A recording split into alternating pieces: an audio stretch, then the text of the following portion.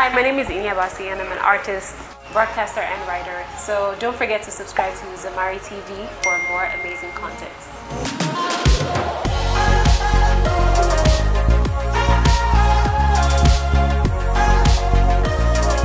Ini Abasi, popularly known as Ini, is a broadcaster, writer, and an artist.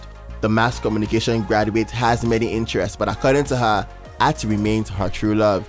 Drawing influence from the Bible and societal issues like feminism, mental health, among others, Ini's works can be described as abstract. She was once an honor personality at Smooth FM in Lagos, hosted a very popular radio show called The Casbah. She's happily married to popular musician Femi Leye. So Ini Abasi Leye, how does the name sound? It has like a very fun ring to it. It, it, it sounds very strange. I'm still getting used to it. Are you serious? I would say, like, it's, it's not my name. It was my name now. It's your name now. but yeah, I'm getting used to it. it it's growing on me. Yeah, mm. and it's good to have you like in this space. I remember, you when I met you, this was not in the picture, No, You know? no, it wasn't. and now you know we're doing our our radio dreams and all that. I know. and now oh my god. we're here, we're painting, we're exhibiting, and all that. How's know- the journey been for you? I've always been painting though. Always. It's just that I just used to do it I at home in my mommy's bedroom.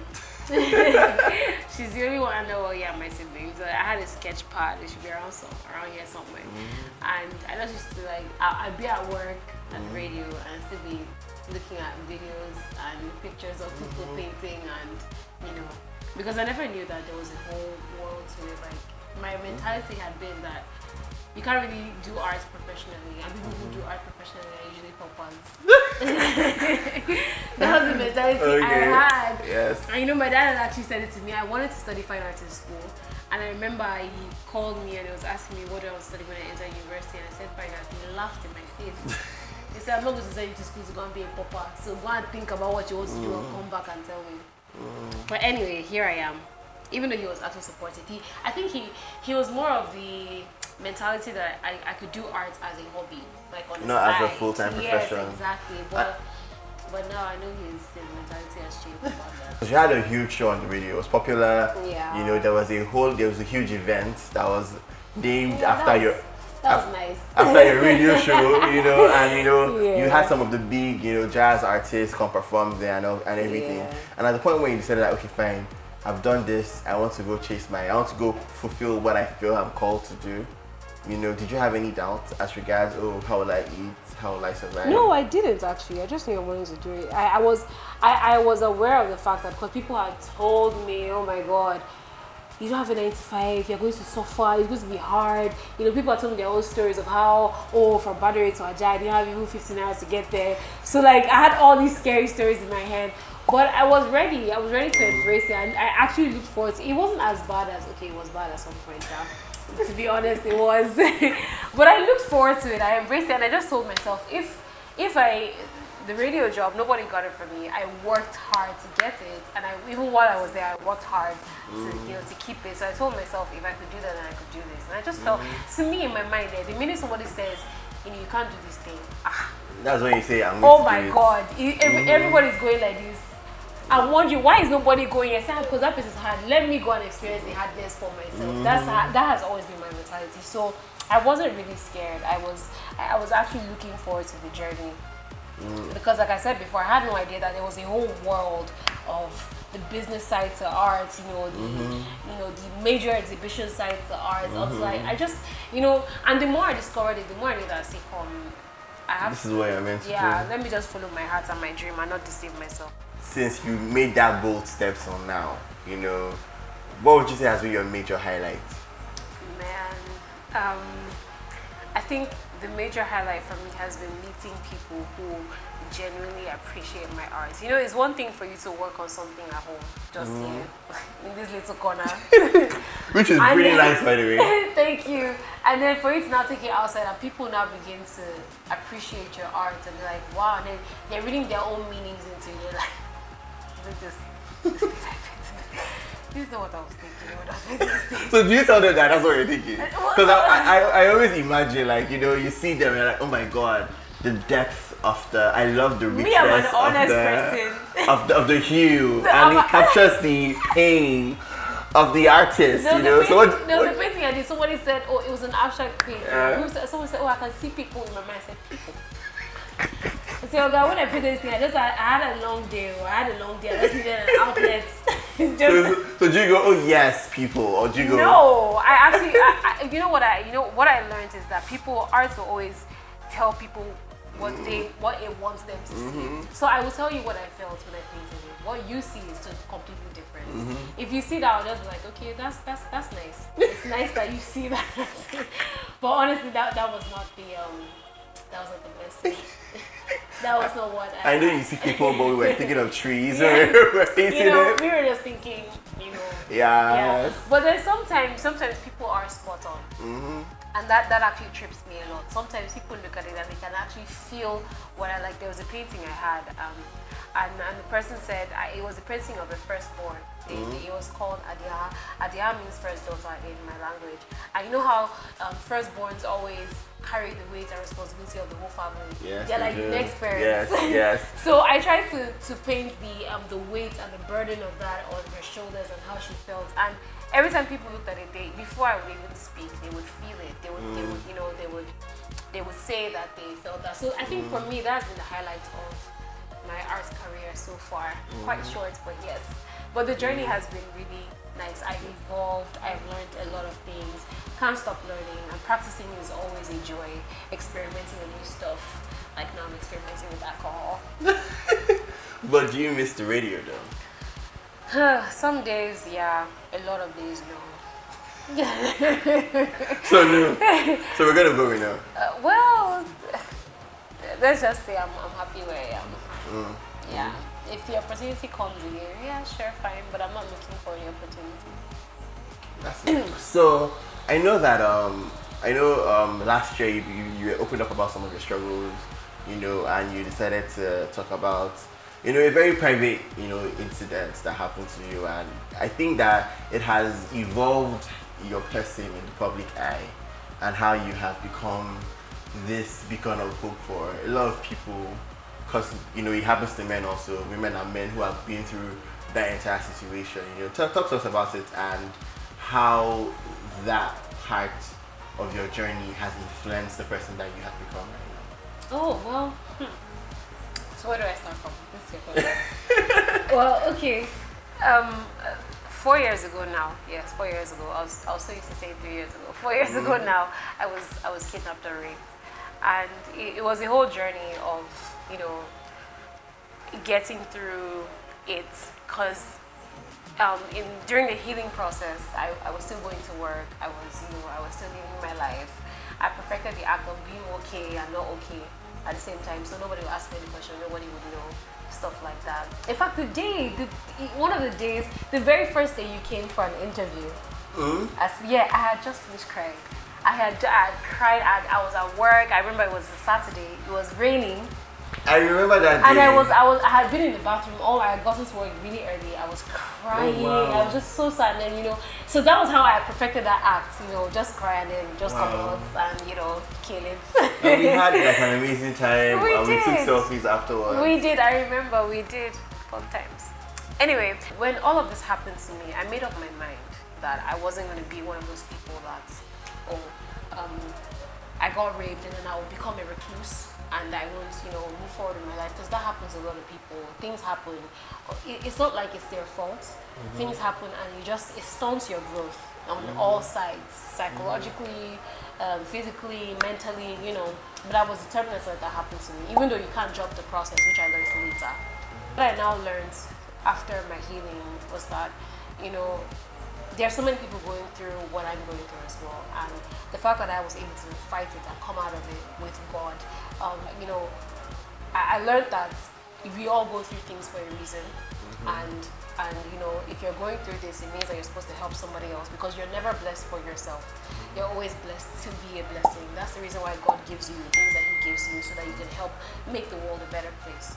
And so I, I guess maybe coming into that understanding, and it also helped me to have a very, very close relationship with God. I already had it, even though there were a lot of ups and downs.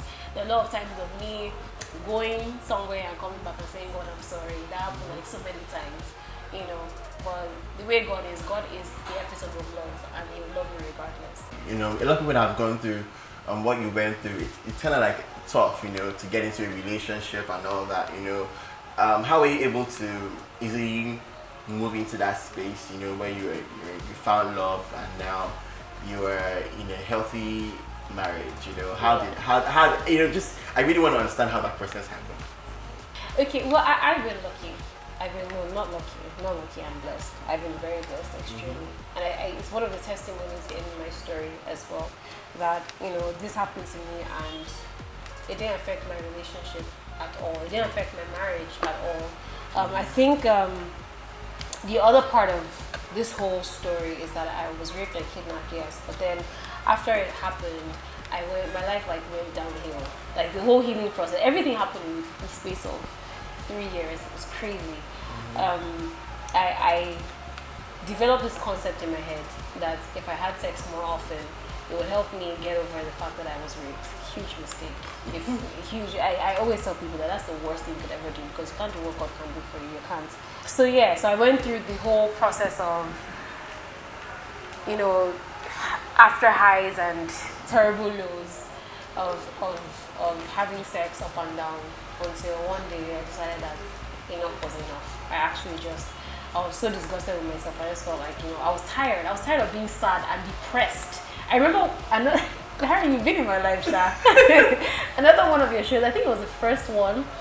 There's this magazine you were doing. Yada. Yada, yes, the launch of it that day. I don't know if you just my eyes were so swollen that day. They were so. I came back. I, I. I, if I said I wasn't going, but then I remember that I made a promise to you that I was gonna be there. So I came. I still saw a picture of it on my laptop like two days. I was like, "Hey, oh my god!" My eyes were so swollen. Yeah. I had cried my life. I, I, I, I sat down in the corner. Yes, because I I couldn't talk to people. Because just saying hi, the tears were just coming. So I was just quiet and all. How we took that picture, I have no idea. And guess what? Femi was there that day. He was. anyway, he performed apparently. Yeah.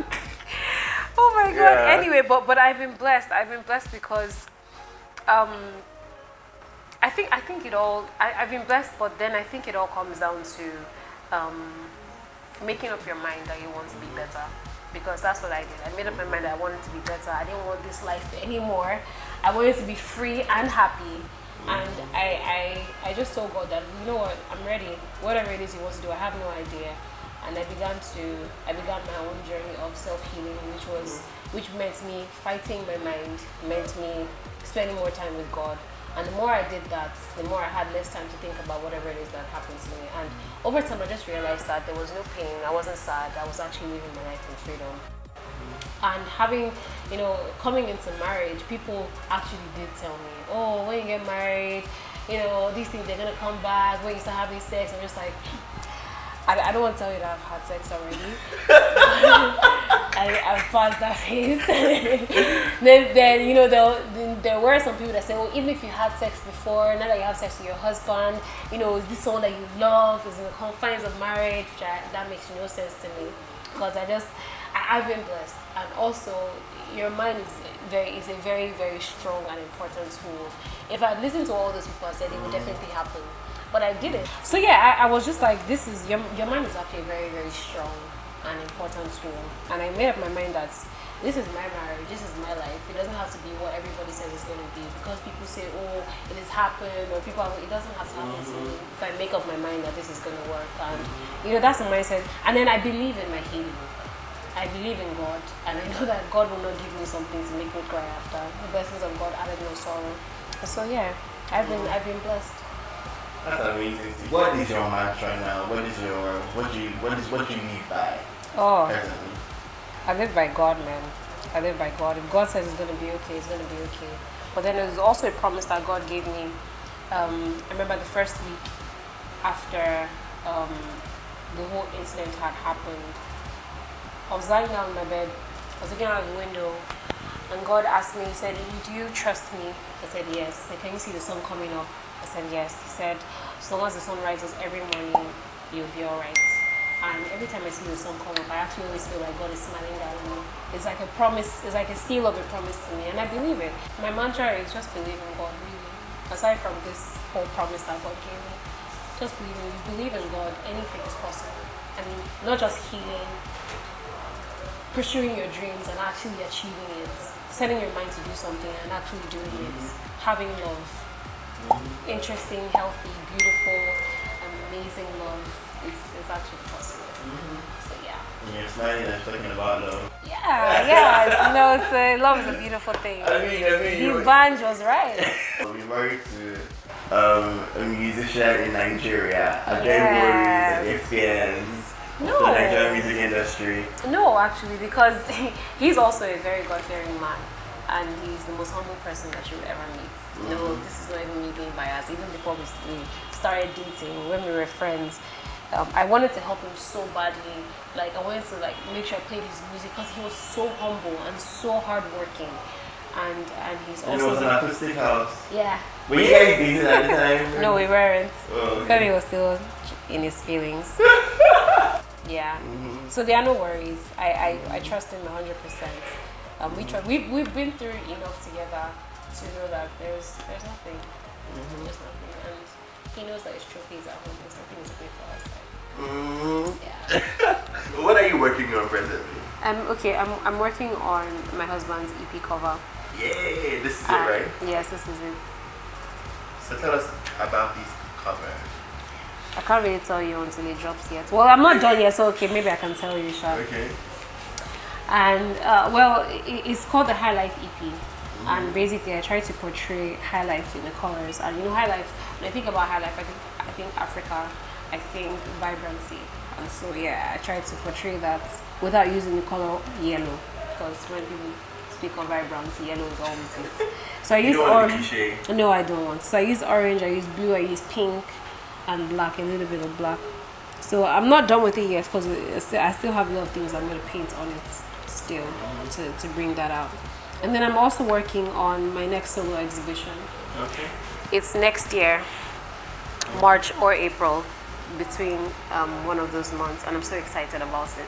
It's, it's going to be really amazing. Like, it's actually going to portray how much I've evolved in my art and, you know, um, topical issues in society, things that people wouldn't naturally talk about, and stuff like that. It's coming up next year, and I'm really excited about it.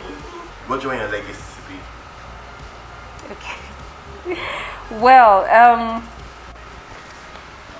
I, I hope to be able to give back to people of any age. You know, the hope that art gave and is still giving me. And I want it to be said of me that I was a lover because I, I know that after all is said and done, after everything, what God requires of me is to love, regardless, in spite of, irrespective of, because that's what He did to me or did for me and is still doing for me. Mm-hmm. And I also wanted to be that my legacy would be that I died of, I died devoid of any color or form because I painted the whole universe with it, and because I, I also love the heck out of it. Mm-hmm. So yeah. It is very deep. Yeah, you know, yeah. Thank you very much, Ini, for doing this. You're welcome. Thank you for you. coming and for having me. Such an honor. Thank you.